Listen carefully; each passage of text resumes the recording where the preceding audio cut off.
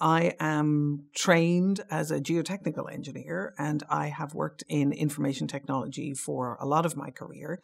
Today, what I do is I focus on innovation in emerging technologies.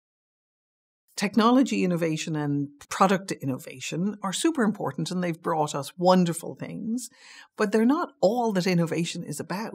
You can't just randomly put brilliant people into a room and expect a miracle to happen. So I'm interested in the process of innovation, not the actual moving of the information. I'm interested in the engaging of the humans.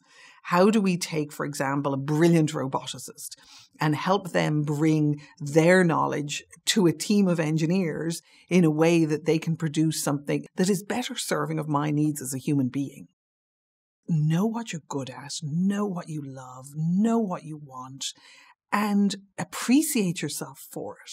Go see the divine in yourself and then learn how to see it in others, and your life will be joyful.